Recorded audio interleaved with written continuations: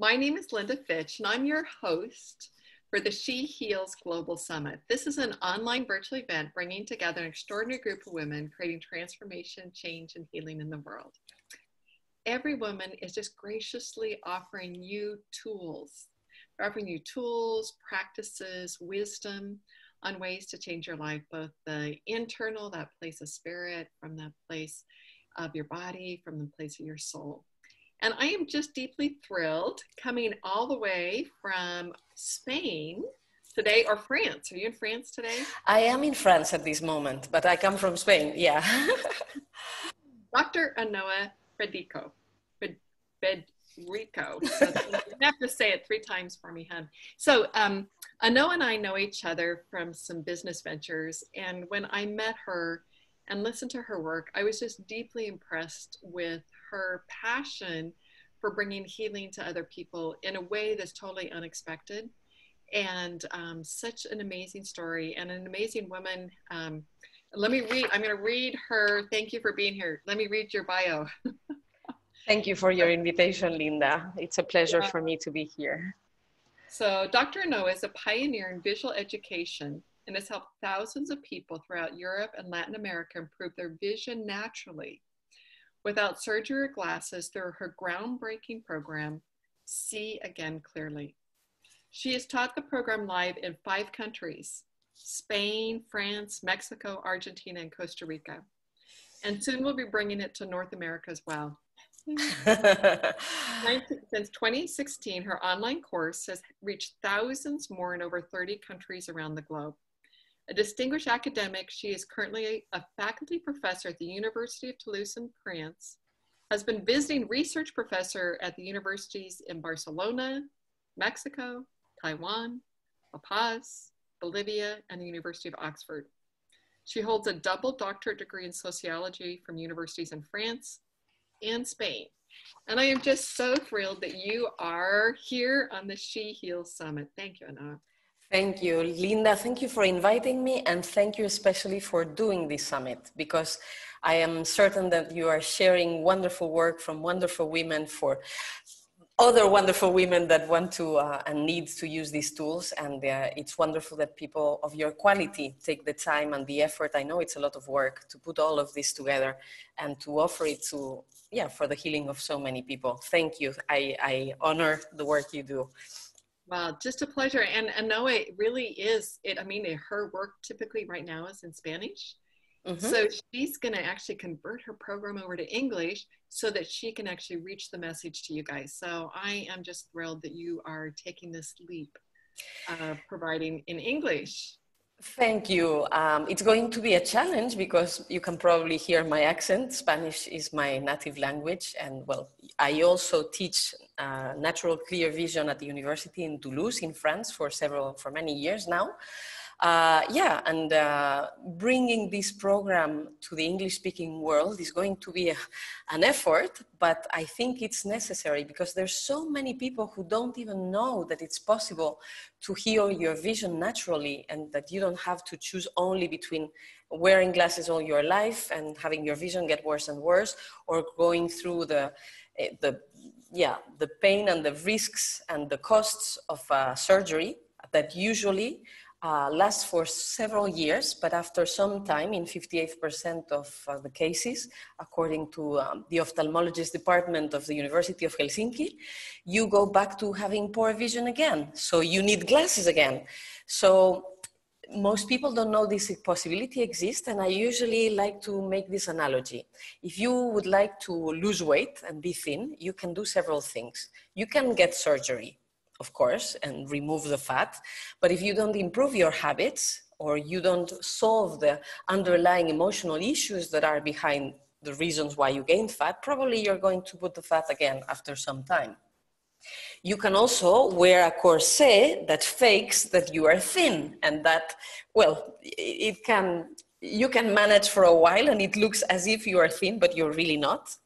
Uh, or you have the third way, and that is to eat properly and exercise and have a balanced life. And then you are naturally thin and you own it. You own, um, you own it in your own health, in your own balance. With eyesight, it's the same. You can get surgery, but if you have bad habits and you don't solve the underlying emotional issues that are behind the poor vision, you're probably going to get back to the same symptoms or other ones but they, they will come back. Or you can wear glasses and it fakes, it, it allows you to focus, but it fakes the real good vision. When you remove the glasses, you, well, you cannot see, so you're dependent on, on some crutches for the eyes. Or you can take the middle way and learn how to exercise your eyes, how to eat properly, how to work within your inner vision so that it reflects in your outer vision. And then you own your own vision. And not only do you own um, the ability to see clearly, which is a very joyful and empowering uh, thing to be able to do. But because of the transformation that you have to go through to be able to see clearly, there are many other aspects of your life that are balanced.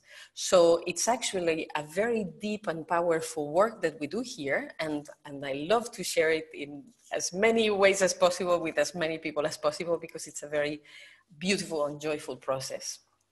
I, you know, I don't think I've ever, you know, I've had a girlfriend that has done some work with some other kind of self healing stuff, uh-huh. eyesight, and then mm-hmm. didn't work. But I've never heard of that putting that together. That just in the same way, you got to do the internal work to have mm-hmm. eyesight. That it's just not about a quick fix. Yeah. Well, um, let's see. Uh, if we talk about how uh, natural vision improvement um, has appeared on the planet. Actually, I'm not the first one to work on it. Uh, the pioneer of natural vision improvement is an American ophthalmologist, actually. And he did his work, he published his work in 1920. That is, this year, it's the century of natural vision improvement. There's many of this information, much of this information that has been around already for 100 years but most people still don't know well what happened uh, he found uh, he found out um, that there are several processes involved in um, the act of focusing. Like most ophthalmologists only consider the work of the crystalline, which is a natural lens in the body that's flexible. And there are muscles, the ciliary muscles, when they um, relax and uh, contract, they have the ability to move the crystalline. It's as if uh, you were projecting uh, on a wall or on a screen some PowerPoint, and you have the projector. You have this little wheel that you can you can move, and there's a lens that will go back and forth, and that allows you to have a focus picture on the wall or on the screen. So that would be the crystalline. And Bates, uh, the name of this uh, pioneering ophthalmologist, um, William Horatius Bates, with a Spanish accent. so. Uh, um, he discovered that there's a second uh, focusing mechanism. The eyes are surrounded by muscles on the outside. Hmm? There's four muscles that keep uh, the eyeball in the skull, and then there's two muscles that surround the eyeball. Hmm? And when this, these muscles tense, uh, they either make the eye longer or shorter. And that is also a focusing mechanism. The analogy with the projector and the screen would be you put the projector closer to the screen or you put it further away. You can also improve the focusing of the image on the screen, right? When you put, do that. Everyone has had this experience nowadays. so uh, these two mechanisms combine. And actually, um, when people are nearsighted, uh, ophthalmology says the eyeball is too long but we can understand that it's because the oblique muscles surrounding the eye are too tense and they're making it too long. You have to know that just one millimeter of difference of shapes causes four degrees, four dioptries, you call that like that, in the lenses, in the corrective lenses that you have to put. So even a slight um, too much tension already causes a focusing problem. And the same with the other ones, the the straight muscles, when they tense, they flatten the eye, and that causes uh, farsightedness. When the muscles in the, the, the, the straight muscles are irregularly tense, that causes astigmatism. And when the ciliary muscles are too tense, that causes uh, presbyopia. That's, uh, well, the, the syndrome of my arm is too short. when oh, right, people get right, right, yeah. And they yeah. need reading glasses. So all of these uh, main uh, symptoms in, for vision, these four problems are the problems that most of the population has. All of them are caused um, by an excess of tension in muscles in the eye. So if the cause is too much tension, what is the solution? Relaxation and movement. And this is what uh, William Bates brought um, the idea, and not only the idea, not only the hypothesis, he worked with thousands of clients and he had really great success with them. He also was the first person to say that the most important part of the vision process are, is not dependent on the eyes, but on the brain.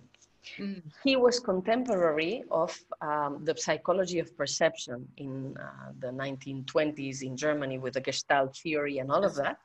So mm-hmm. I don't know to what extent they knew each other, but uh, both um, both lines of research are contemporary. So Bates, in any case, said, well, seeing also depends on memory, depends on imagination. So there are also mental processes involved. And if there's mental tension, then the mental tension becomes muscular tension, tension in the muscles, and then you have all these problems that are created, all these refraction errors.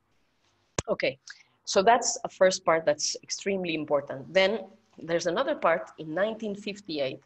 There's a PhD by a doctor called Charles Kelley.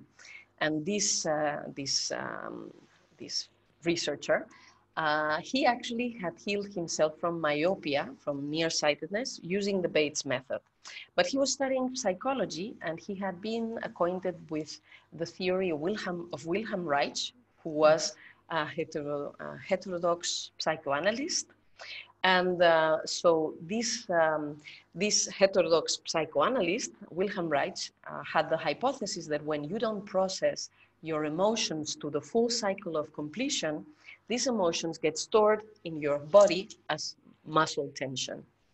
And he wondered, what if I put together Bates' theory with Kelley's theory and see if there's a correlation, if specific emotional tensions are related with specific muscle, muscle tension, thus specific eye symptoms, symptoms in vision. And he did the research in 1958, uh, and he found very precise correlations it was so, well, he did his research in the New School of Social Sciences that's related with uh, the University of Columbia. So not, a, not a, not a, um, I mean, a prestigious university uh, with right. serious work, right? And he got the, the prize for the best uh, this, um, PhD dissertation of the year. Uh, he published uh, his works. He went to congresses of psychology, of ophthalmology. He was on the New York Times, in the Time magazine. He went to the radio, he went to the television. So everyone was very excited about his research. And after that, nobody paid attention.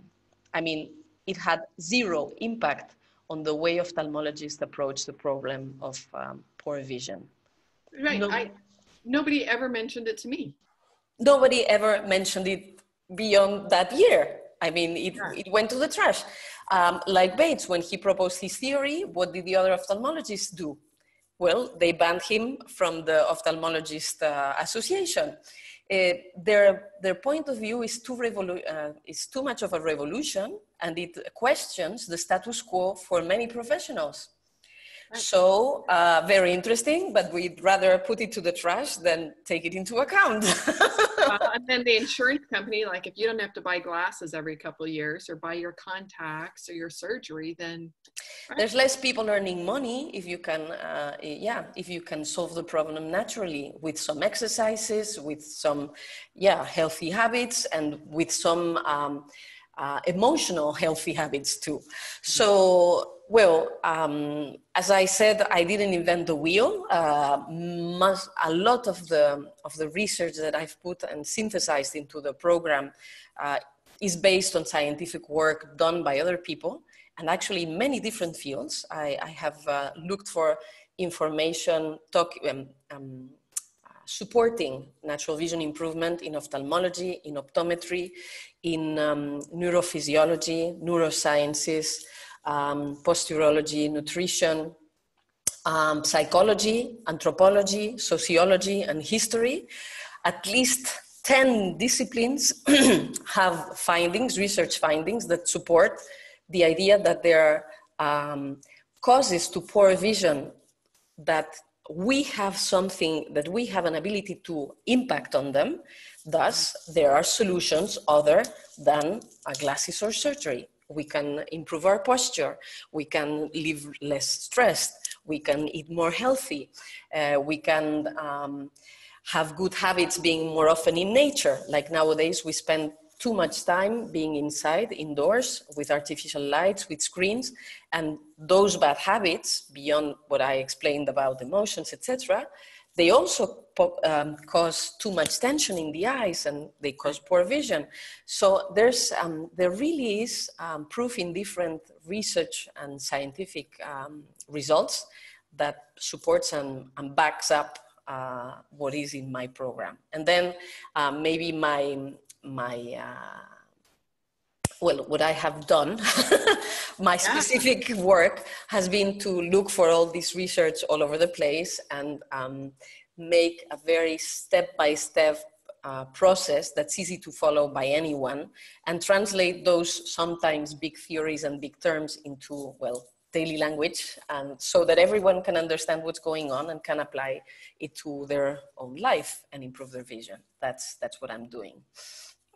I know it's amazing. I just want all the listeners to know that this is a woman that also, besides the two doctors, also received, um, as you were talking about, one of them, Bates or somebody's, the award for your doctorate thesis for his thorough. So we know it's been well researched and that everything's in a package. Mm-hmm, mm-hmm. Yeah. Thank you. yes. Yeah. Mm-hmm. So where, where did you get become passionate about eyesight? Well, um, actually, uh, I have I have my own personal story with it. Um, I was born um, half blind, like my brain didn't consider the information coming from one eye, and cross-eyed, so I looked like this when I was born, and very nearsighted uh, of the other eye. And when I saw when I was six months old, uh, my parents called my grandfather, who was a medical doctor, and they asked if he had a good address of a good ophthalmologist that they could bring me to, uh, because it was very obvious that I had problems with my eyesight. And so at the time we were living in Barcelona, and he advised some, of, some ophthalmologists, we went there, and I was very lucky because this lady uh, worked with natural vision improvement. She was aware of this line of research. And so she advised my parents to do some stimulations and some, well, to play a certain number of games with me. And by the time I was one year old, I had perfect vision. Everything was gone. No nearsighted, no, wow. uh, no uh, crossed eyes, and everything worked perfectly balanced. So I grew up uh, on the one hand, having a very strong identity of a person that sees very well from the far, from the near, by night, by day, with both eyes. And on the other hand, I heard all my life the story of how I was born with such poor vision and blah blah blah blah blah. Uh, actually, this was one story that my parents used to tell every every birthday. So uh, it was one of my first experiences to know that it's possible to improve your vision naturally. But anyway, life goes on. and I studied, uh, well, I, I, studied at university sociology and I participated in a um, mobility exchange program in Europe. So I went to France to spend some time during my studies. And one day I woke up and I saw double and very blurry. And honestly, I panicked. Uh, oh yeah. The, the, day before I saw perfectly, and that morning I woke up and I saw very blurry and double. I called my my mother in in panic, in fear, and uh, she was even more afraid than I was. like, don't call me to tell me this. I cannot do anything. I'm like a thousand kilometers from you. Go ahead and call an ophthalmologist. And I'm like, yeah, of course. that's, the, that's a good idea. That's a good thing to do. So I picked up the yellow pages. At the time, I didn't have any access to internet. Uh, so it was a long time ago. And I started looking for ophthalmologists. I, I was new in France, so I didn't know anybody that would recommend a good professional. So I started calling and the first one that said that he could see me right away, I went directly, which was a very bad idea. You should never go to empty restaurants. If they are empty, it's for a reason. Usually they're not very good. so anyway, I did go to this guy and uh, I remember it was a terrible situation. It was cold, it was dark, uh, it was in the winter. Um, there was little light in the space. He didn't even greet me, uh, so I felt like I was a burden rather than a welcomed human being. And I told him how nervous I was because the day before I saw perfectly, and now I saw very blurry and double. And I wanted to understand what had happened to me. The question went uh, in one ear and now the other one. He didn't care. The only thing he wanted was to put me in front of a machine with lenses and letters and numbers and for me to say when I saw them the best. And then he wrote in a paper so many degrees of myopia and so many degrees of astigmatism. And he told me off to buy glasses. And I'm like, but why did I see perfectly yesterday and today I don't? Silence, no answer. Go get your glasses, that's not my problem. And I remember that I was so furious and frustrated. Um, at the time, I was too young, but to do so. But what I really felt was to leave like slamming the door and not wanting to pay him and remember his ancestors, but I didn't do anything of that. I paid him and left politely. But the moment I went out the door, I was so angry that I crushed uh, the prescription, I threw it to the garbage, and I said to me, I won't wear glasses until or before I know what has happened. So I'm so happy that I had this such strong identity of someone who sees clear and that I hang on it. And so I went home and started calling my friends. I, I needed to let out all the frustration. and then one of them was like, Well, you know, um, I have this uh, doctor. He's not an ophthalmologist, he's a generalist, a family doctor. Um, I don't promise that he will find a solution, but what I do promise is that he's going to care, he's going to look, and he's going to try to understand what's going on. I'm like, okay, I'm in for that. I, that I feel good about. So I go to this other guy, and curiously enough, uh, the day after, it was a sunny day. I got the appointment during the day. He was very friendly and welcoming. And I'm telling all these things because they also play a role in how vision yeah. works. Yeah. So the conditions were completely other and much more friendly. I go there and he, I, I tell him the story. He looks at me. He examines, uh, uh, he listens carefully. He examines me and he says, um, well, my dear, what you have is sinusitis. Sinusitis? Uh-huh, sinuses. Exactly. So they they were inflamed. Yeah. Well, I, I, got a cold or something, and the sinuses were in, were uh, voila. Uh, there was an inflammation. There there was an infection. So because of the inflammation of the sinuses, they're making pressure on the eyeball, and when the eyeball is deformed, there's an error or refraction. There's a problem with focusing okay, that makes sense. Yeah. So yeah, so my scientific mind is satisfied now, my curious mind. Okay, so now you have to take seven days of antibiotics, and when the sinusitis is over, your vision will go back to normal. So I did take the antibiotics, and indeed, in seven days, my vision was back to normal, back to perfect. And I remember having thought, what would have happened if I had listened to the first guy and if I hadn't been so stubborn uh, to want to understand and so identified with my clear vision, maybe I would have worn glasses for the rest of my life. Right. Because when you get glasses, they tell you your eyes adapt to the glasses. Usually, when you when your eyes are measured, uh, they give you a, a, note with numbers of the prescription you have to get. You go to the uh, optometrist to buy the glasses and they look at the numbers and they say, we're going to give you glasses by measure, come back in two weeks and you'll get your glasses. So you go there two weeks later and you give them the paper uh, with the numbers inside. They don't measure again your, your eyesight. And when they give you the new glasses, made explicitly for you, and you put them on, you're like, ah, I don't see anything. Are you sure they're my glasses? And then they look at the references between the paper and the glasses and they say, yes, yes, they're yours.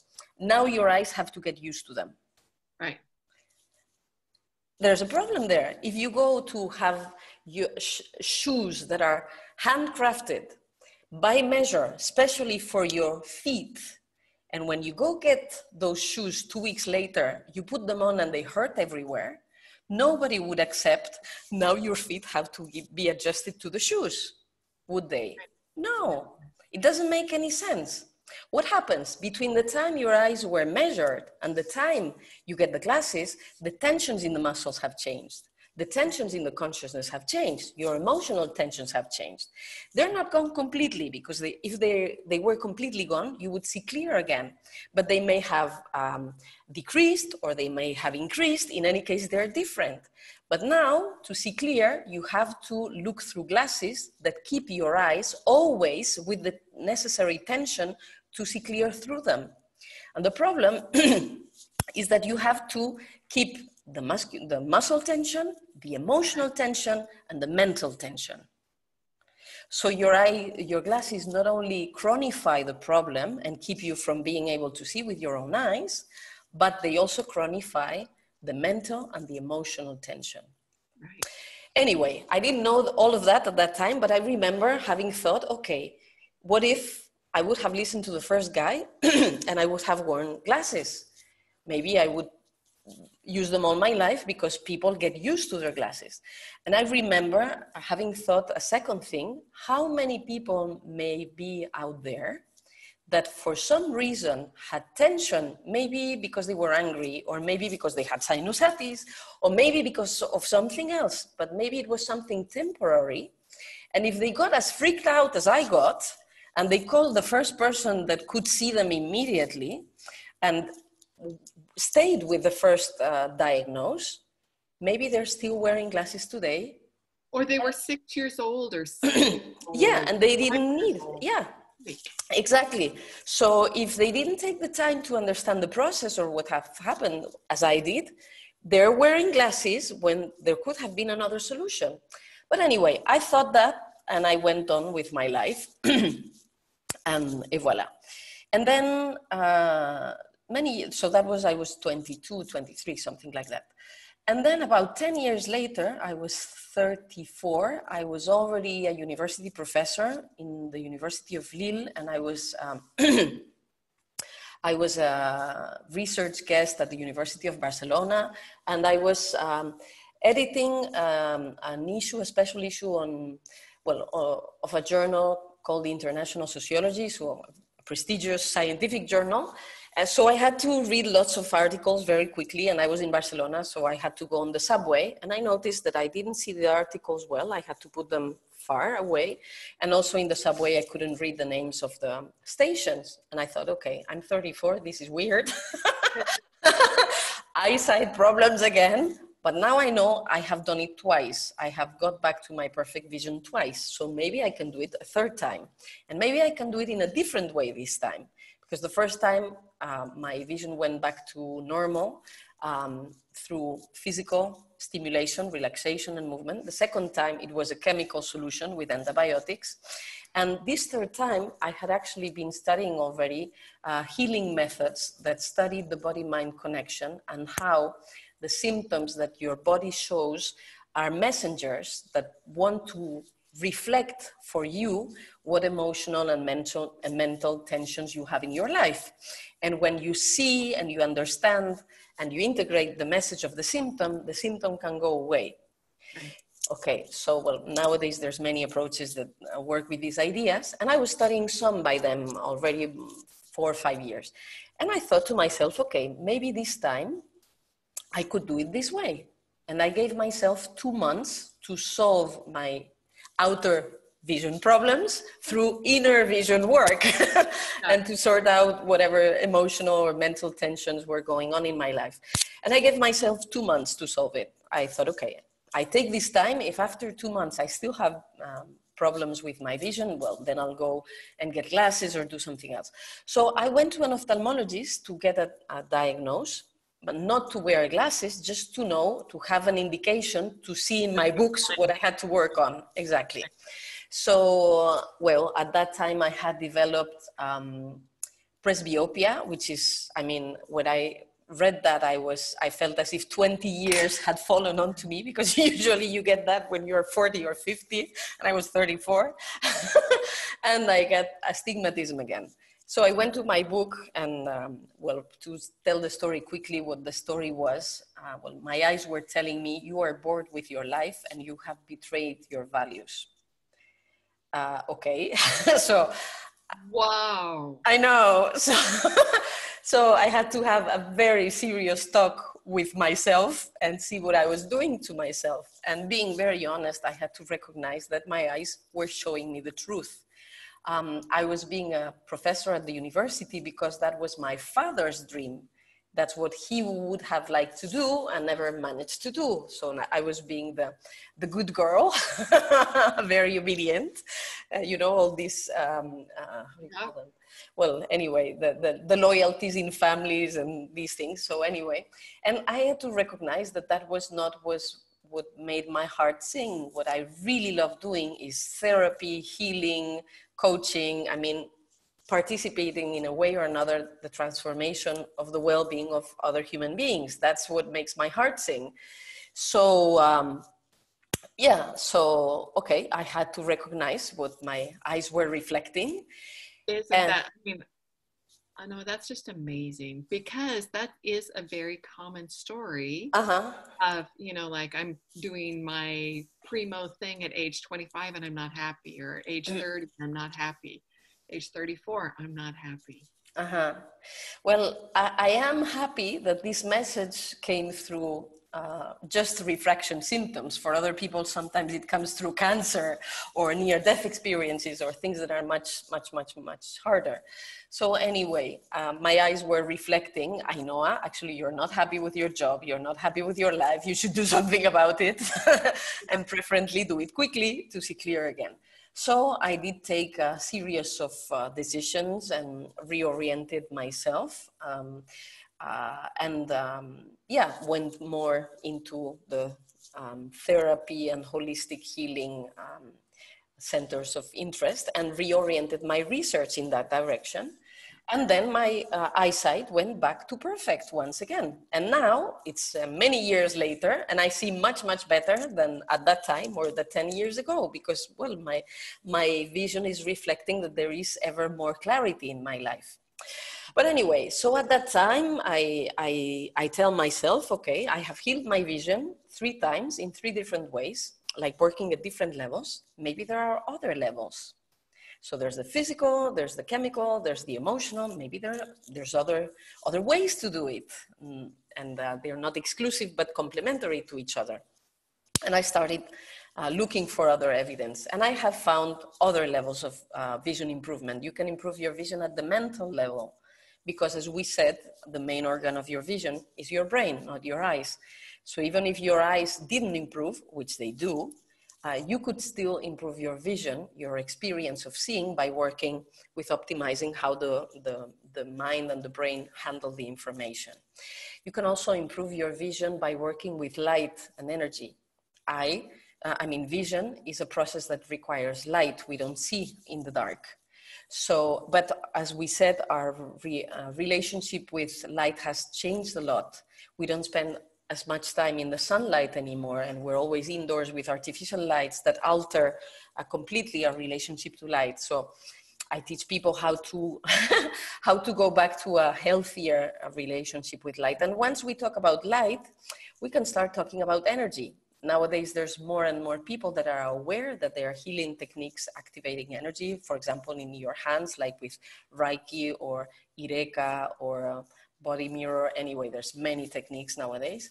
And you can use um, that energy also to um, accelerate and enhance enhance the healing processes of your eyes and your vision. And once we go to talking about energy it's easier to talk about more subtle uh, things like at some point in time in my program, I teach people how to see auras. That's a part of our visual experience. Actually, it's the first ex- eh, experience of seeing that we have when we are babies before the macula is linked um, through the nervous system to the brain. We first see with our peripheral, peripheral vision and we're able to see auras. But this kind of perception is discouraged by society. If a six year old boy says, Oh, mom, how orange are you this morning? probably they're going to bring him to the ophthalmologist if they don't bring him directly to the psychiatrist. So it's not encouraged to uh, share our perceptions of auras, but rather the opposite. but if you remember how to do it, if you are given the procedure, the technique, it's very easy and everyone can do it. And that opens two things. On the one hand, the way you have you, to use your eyes to see auras is the best way to use your eyes to see well in general. That's the first one. And the second is that, um, well, it opens to other dimensions of our vision and our being.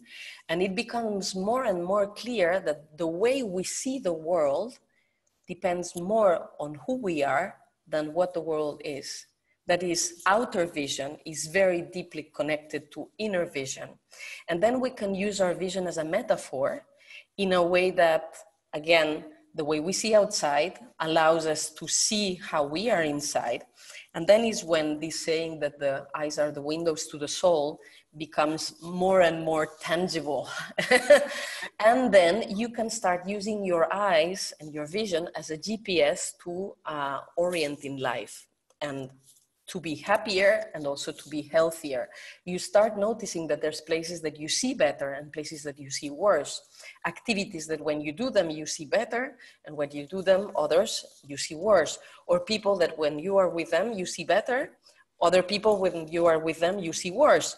Or certain emotions, when you have them, you see better, and other emotions, when you have them, you see worse thoughts that when you have them you see better when you, others than when you have them you see worse and also places where you see more light and places that you see darker and all of those are indications of what's the direction what's what's the path of happiness and health for you? So you can use your, your eyes then to orient in life and reality. And um, so we go to the from the uh, how to say from the more dense physical to the more subtle uh, with vision, and then we balance uh, both both eyes that they both work as well and that they both work coordinated so that people have 3D vision. And when you balance uh, the way you see with both eyes, when you coordinate them, you're actually also coordinating your hemispheres, your brain hemispheres. So that helps uh, for people to access to all of their forms of intelligence. Because as you know, uh, each uh, hemisphere thinks in a very different way. The one thinks in sequence, the other in parallel. The one is rational and the other is intuitive. The one is analytical and the other one is, uh, yeah, intuitive. Um, uh, the one is uh, thinks of time like before, now, after, and the other thinks in terms of synchronicity. The one cause effect and the other one causality, and so on and so on. So, um, and most people um, live using al- almost just one of those kinds of uh, intelligence, but not both, and not both at the same time. Our schooling system reinforces the rational one and tends to think that imagination and intuition is nonsense, which is very, uh, it's a pity not to say it's stupid because it's like throwing to the trash half of our intelligence, yeah? Why don't we use both? Like we have two eyes or two hands, why should we just use one of them? So when you balance um, the use of both of your eyes, it coordinates better your hemispheres. The callus corpus works better between the hemispheres. So both of both types of intelligence are more accessible to the person also to orient better in her life or his life. And that balance is also both of the parts of the body, they're more coordinated as well, as well. And that balances as well both facets of personality, masculine and feminine it yin yangs people more. So it's actually a very, very, very deep work that we do through improving vision. Actually, many people say, I know I came because I wanted to see better. And when I see it, at all the transformation that your program has caused, I'm in complete awe and admiration. I didn't expect so much. And actually, seeing better is just the cherry on the top of the cake. And the most important thing is what happened uh, to get there and everything that's changed. So, well, in a nutshell, that, that is the work I do nowadays. I am awestruck just because it is like, it is just the, that little nut on the piece of the cake, you know, versus everything else that comes into balance, into alignment with your life. Mm-hmm. Yeah. Yeah, so I have people that after taking my course, they have changed careers or they have moved somewhere else or they have made re- their family life becomes better or their relationship with their spouse becomes better or they decide that it's time to take paths apart. But often there's other life transformations that come with improving the vision because of all the work that you have to do to to get the result and so it's like the vision is the carrot that that gives you the motivation but then yeah the important thing in a way is elsewhere yeah yeah yeah mm-hmm. to do mm-hmm. the deep work with it exactly so, um, gosh, your website was saying that you've already brought this message to over 185,000 people. Yes, and probably more. I think that's that doesn't include the the dates, the, the numbers of my last launch that we just uh, finished last Thursday. So maybe nowadays it's twice or something. I have to update it. But anyway, yeah, the internet is a blessing. It's so wonderful to be able to share with so many people with these amazing tools nowadays and uh, yeah there's people following me from 87 countries at this moment and uh, yeah now i have students in 40 countries over a thousand and 200 students something like that. So yeah it's growing and growing and it's a, it's a pleasure to share it. Wow and you're going to go you're going to put it in um, english. Exactly. So yeah, so I have been teaching it in Spanish uh, offline for many, many years, online since 2016. Uh, I teach it in French at the university in Toulouse. Um, and uh, I just came back from uh, another workshop in Los Angeles. I, I, just came back home today, so I'm my body is in the same time zone as yours, not the rest of the city, but I am. And uh, yeah, I mean, seeing the response of people when we were together in the in Jeff Walker's universe and seeing the response of the people in LA in this workshop that I went to, it's like I cannot keep this information from the English speaking uh, people. I have to make the effort to put it available and, and to be of service to more people because there, there were so many people interested and they had never heard it was possible. Uh, one or two had heard about Bates or Aldous Huxley, that had, they had books about this, but the, the, the, the great majority had ne- never heard about it and didn't even think it was possible. So, yeah, we are on duty. I think we have to do this. I say we because I know you're also doing amazing work and undoubtedly all the ladies that are talking these days. So, yes, yes, thank you for uh, opening this platform because actually, thanks to you, it's the first time that I'm talking about this in English in a more extensive uh, way and it's the first time that i'm going to offer uh, to people to yeah opt in to my list and have a, a, little gift with some techniques and something to learn so they can start improving their vision naturally and and and see that it's tangible that it works. So if there's people interested probably we'll sort out for a link to be there somewhere so they can get this uh, information right yeah. And I know I talked about if you're Spanish speaking, you're just ahead of the game because you have a class coming up in April. April, yeah. Uh-huh. And and before every class, I always offer free classes so people people can under, have an, a deeper understanding of the process. That they can test several techniques. They can start improving their vision. There's actually people that with the free techniques I teach, they already solve the problem and they ditch their glasses and they don't need them anymore and they're already happy. And for those that need more help and want me to take them by the hand through the whole process, then yeah, we work through through it all um, during six weeks. And yes, the the opportunity will be available in April, and maybe you can put someplace the web page or well, we'll arrange something we'll, about we'll this. We'll put yeah. it on for mm-hmm. sure. Yeah, the link for it. So. Um, gosh, what lucky students you have that are those, you know, 18 to 21 year olds or whatever that are learning and being able to shift their life right now. Yes, uh, really um, owning your own vision. The sooner you can do it, uh, the better. It's a gift for life. Uh, my dream would be, and I'm working on it as well, uh, to have this information be uh, taught in public schools, in schools when, when children are are small so as they learn how to read and write that they learn or how to bike or how to play sports. If they learn how to use their eyes properly then they have good eyesight good vision for the rest of their life. Um, i'm um, i'm having some contacts with some schools in uh, mexico uh, so i'm going to go teach there in person to the kids. Uh, uh, there's some colleagues doing it because I, am not the only one. I'm in a network of, there's a Spanish Association of Visual Educators. We are like 40, which means we have over 1 million of Spanish people for each of us. and uh, yeah, like um, what? 50 million of Spanish speaking people for each of us. yeah, this profession is very small and the need is huge. One third of the population has problems with vision. So we really have to get going and start teaching it in schools and offering online programs. And we have to spread this information so that people that want can, can learn how to do it. Yeah.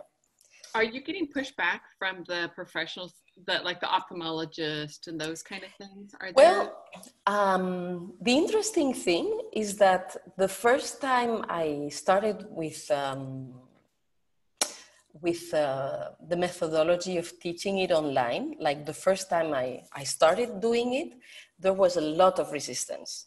There were many ophthalmologists and optometrists writing to say, this is nonsense, it's a hoax, it's fake news, they're trying to get your money and it doesn't work. And uh, so there was a lot of it in the beginning. And, uh, and then it calmed down. And actually, I have students, many of my students are people that come from health professions like nurses, doctors, um, uh, physiotherapists, and I also have a handful of ophthalmologists and optometrists that are learning Uh, from me natural vision improvement.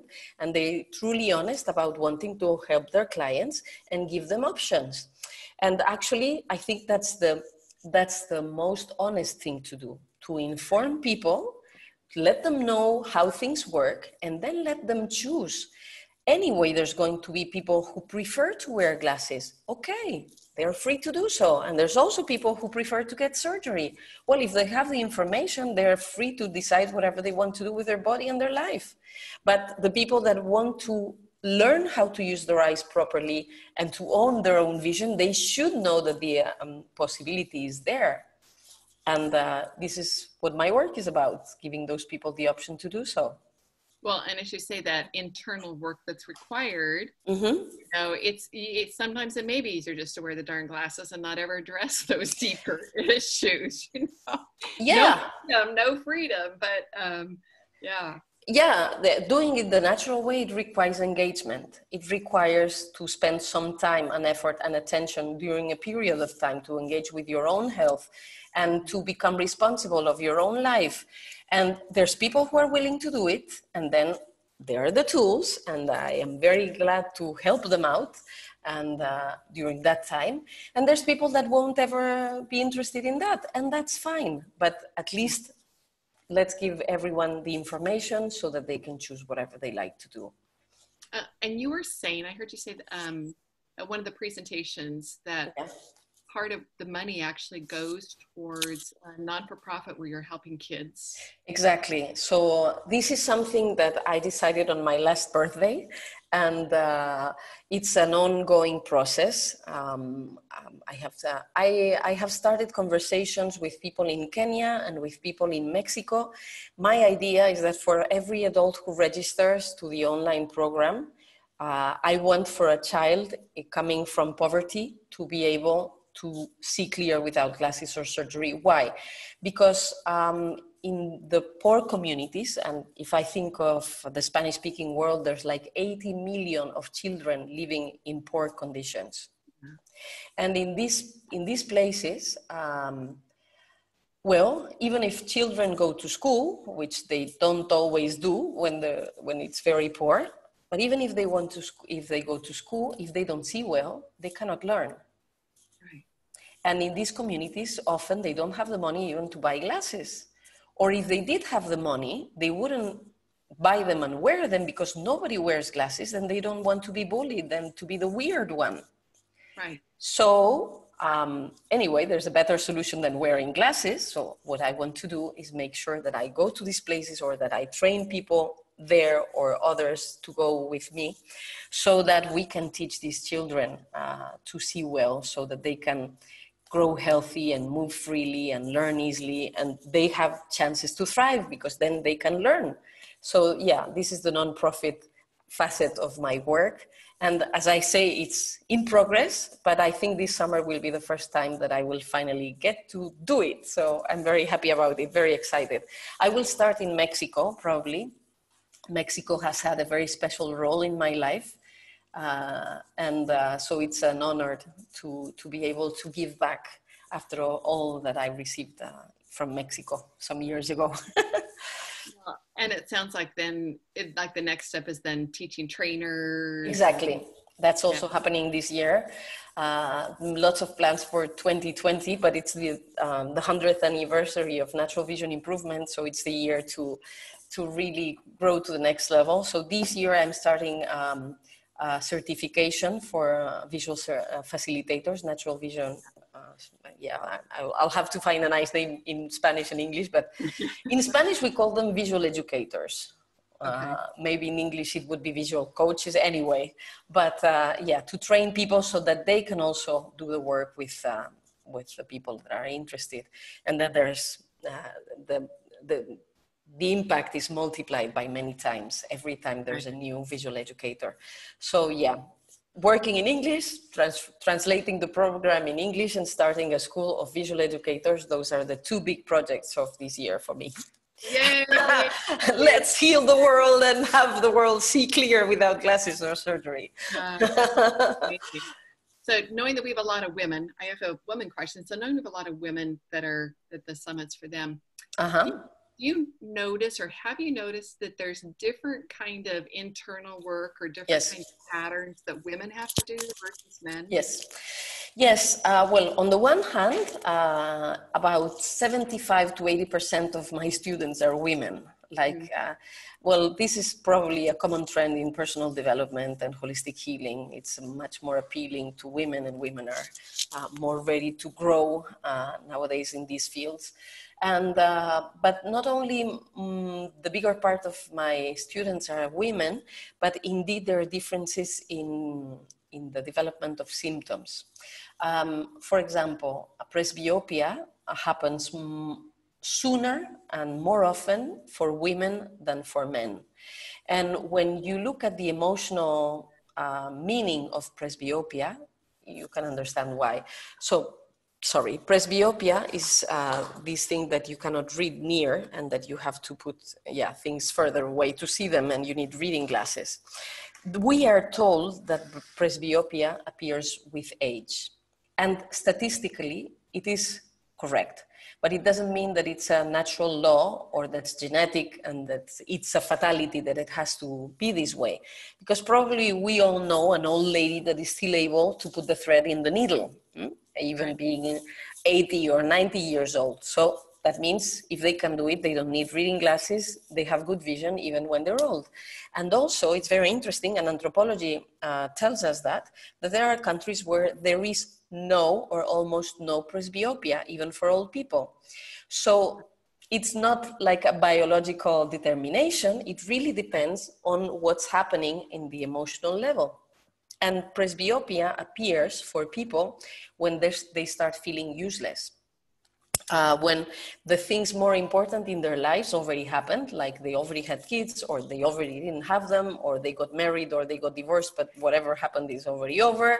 They bought the house, or they didn't have, buy it, or they had the career, or they didn't have it.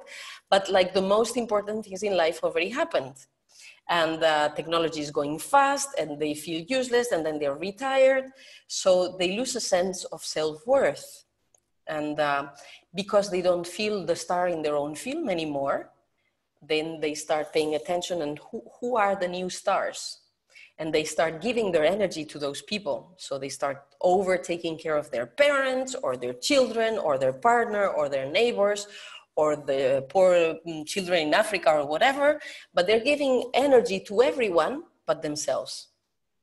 And that happens when they start feeling useless because society has that look on them. And in societies where elder people are regarded with respect and admiration and they're honored and they're thanked for the efforts they made, etc., like in Confucianist societies like in China, there is almost no presbyopia Interesting. So it's something that happens at the individual level, but also that happens at the collective level. Right. And because women are often um, socialized, the social norms for women and men tend to be different in societies, and women are socialized to take care of others. Right. And not to take care of them, but to take first care of others. So presbyopia happens faster, uh, sooner, and yeah, and for more women. So this is a very strong message for women, especially after a certain age. Okay, you've taken care of everyone. Now it's your turn. It's time to take care of your own dreams, of uh, your passions, whatever you want to do. And so, uh, to be able to see clear again near you, you have to bring the energy to yourself right. and uh, use, um, what do you call that? Um, positive selfishness. You go first, then you. After that, you. And if there is something left, for you. okay? I love it. Yeah. Yes. So that's the that's the the recipe. That's how do you call it? The the yeah. the prescription from the doctor. yeah. yeah.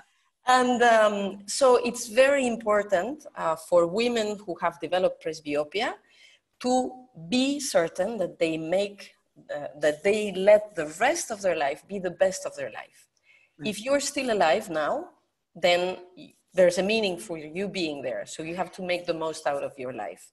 And whatever happened in the past, okay, great, give yourself congratulations. You can give yourself a medal, but then it's over, it's done. And now there's an ever going now. You should use the now in a way that's nice for you and make the now and the future exciting. And that's very, very, very important for, for women to give, uh, yeah, to bring their energy back to themselves. Yeah unbelievable. Well that is so so true. Yep. Mm-hmm. And yeah, when they do it, they're absolutely excited and happy. And as I say, seeing better is just the, the cherry at the top of the cake because all their life becomes more exciting. And it's so empowering to see women, especially after a certain age, when they thought they couldn't see anymore and their health is falling to pieces, and that they realize that they uh, that they can do something that they thought it was impossible. It's so empowering. Then, then they own this power and they bring it to other parts of their life. And they start feeling able and, uh, yeah, to do other things. Maybe they thought impossible or they didn't consider doing it, uh, but they have regained their power. And that's, that's absolutely beautiful and that it doesn't have to follow that cultural norm of a certain nope. age, what's nope. happening to them or anything, that they can go up into exactly flying in their life. Yeah. They can be the white swan instead of being the ugly duck. yes. Mm-hmm. Wow. I am so excited. I can't wait till you get your program in English. uh-huh. mm-hmm. So let's see. So how they're going to find you. Do you want to? So shall I write it somewhere? Let's see. It will be on here. Okay. It'll be listed below when we give ours, but I want to spell it out loud. So it's www. Let me make oh. sure I get it right. V O L V E R mm-hmm. A V E R Claro, C L A R O dot com. Exactly, which in and Spanish. for? Excuse me? What it stands for? It stands for seeing clear again, or to see clear again, or regain eyesight, something like that. Yeah. yes. I don't know. Anything else you'd like that we talk about? Shall I give a little tip or something for people? Of course, of course.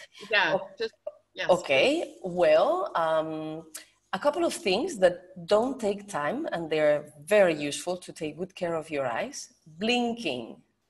Mm. it's free and it's ecological. you don't have to pay for it. So, blinking is so important. We should blink every two seconds, and we actually oh, wow. don't do it. Yes. I recommend for people to do this exercise. Try these three things First, um, try to be one minute without blinking. After that, actually, probably you will stop after 20 seconds because the eyes get so irritated and dry and it's really uncomfortable. And then you realize um, what wrong you're doing to your eyes when you don't blink enough. Then a second exercise is to well be with someone or be looking at the mirror and count how many times you blink in a minute. And then the third exercise, you can put uh, some telephone that has some application with um, uh, um, well with a timer or something or you know musicians they have something called like metronome, metronome. or something. Exactly. So something that tells you every two seconds so that you make sure that you blink every two seconds and you can compare the state of your eyes in those three situations and probably you're going to want to choose to blink every two seconds because the comfort you're going to feel is much much better. There's many many uh, um, positive properties in blinking. And it's an easy thing. You don't need to stop your life or to yeah plan an hour every day so that you can blink. No you just be aware of it and then you do it all the time and that's it do electronics stop us from do they do we just stare at the electronics and is that what exactly one of the one of the uh, harms of uh, screens to our eyesight is that we tend to look them like this and we stop yeah. blinking and then we hear that there's, okay, that there, the reason why our eyes don't work is because of blue light and this and that. And that's part of the process too, but also that we train our eyes to have bad habits when we're in front of screens. And not blinking is one of them. Another bad habit that we have nowadays is that we almost never look at the far.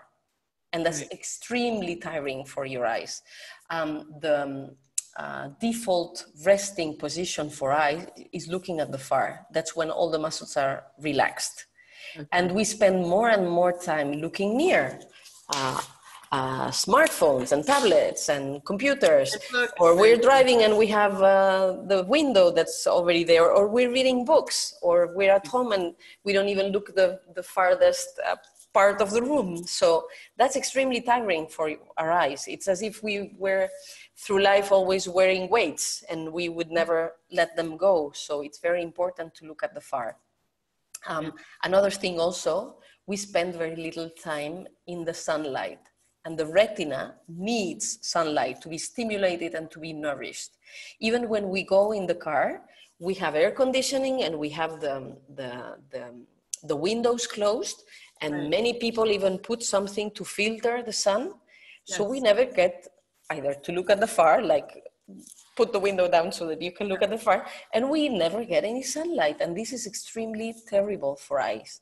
So, one thing that we can do that's very simple, at least once a day for a few minutes, you start noticing the difference even if you do it for one minute. Ideally, you can do it five to 10 minutes, something like that, is to go out in the sun, someplace where there's sun, and with your eyes closed, this is very important, with your eyes closed, look at the sun and move your head very gently and let the sun stimulate your retina. You're going to feel all the relaxation in your eyes, the well being in your body.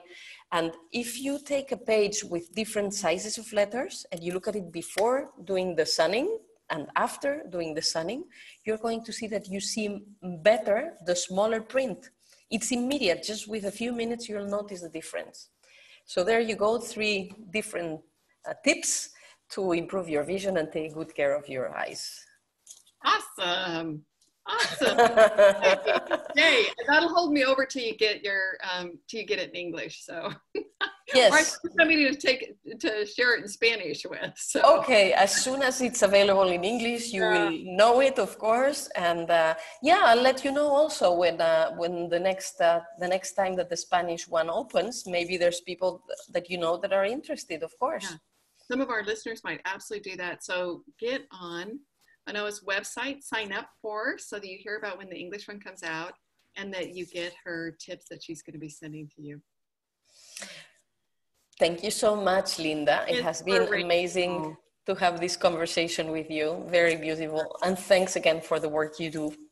Yeah, and I'm just so pleased to help get your message out in the world. So thank you. Thank you. It's beautiful. thank you, and everyone. Thank you and success for the whole summit and for every healer that she heals.